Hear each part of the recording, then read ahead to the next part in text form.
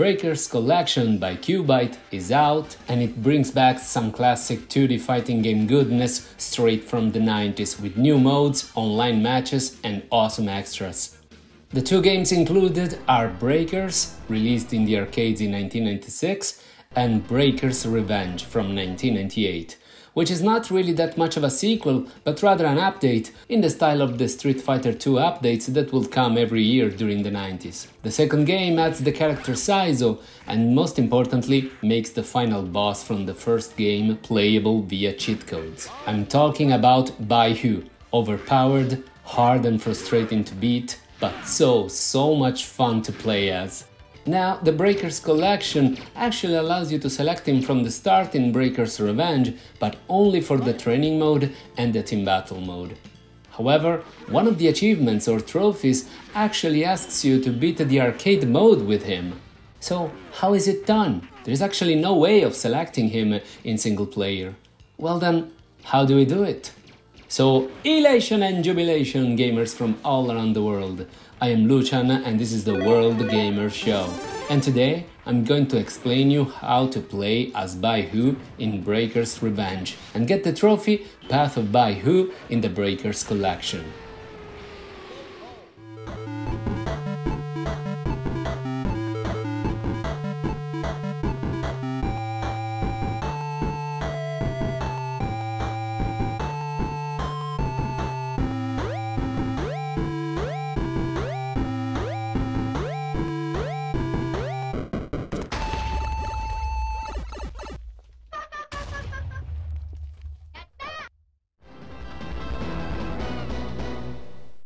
So, as I've previously mentioned, there is no actual way to select Bai Hu while in single player mode. But this doesn't mean we can't actually select him in the arcade mode. What you will need to pull this off is two controllers, as Bai Hu becomes selectable through a cheat code that is only available when two players are in the character select screen. This means that both Versus and arcade modes can do. However, if you want to go for the Path of Bai Hu trophy, you will need to select the arcade mode. But let's go step by step. So first, connect your second controller to your console.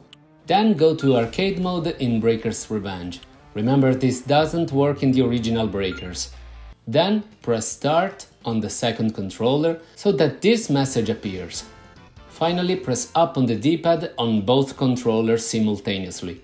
I repeat, both players need to press up at the same time.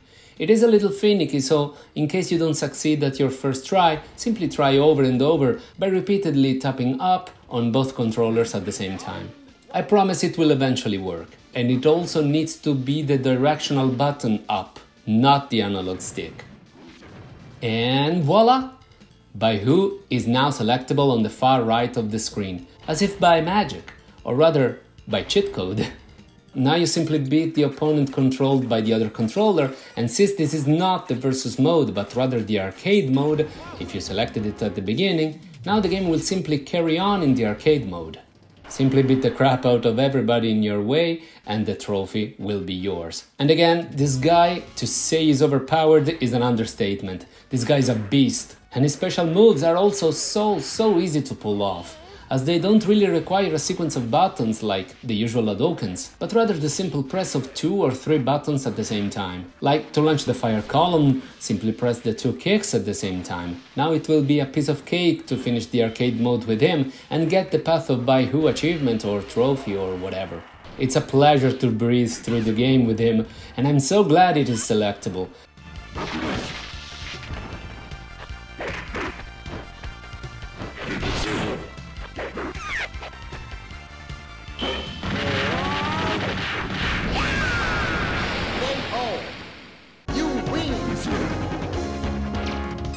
So yeah guys, that will do for this video.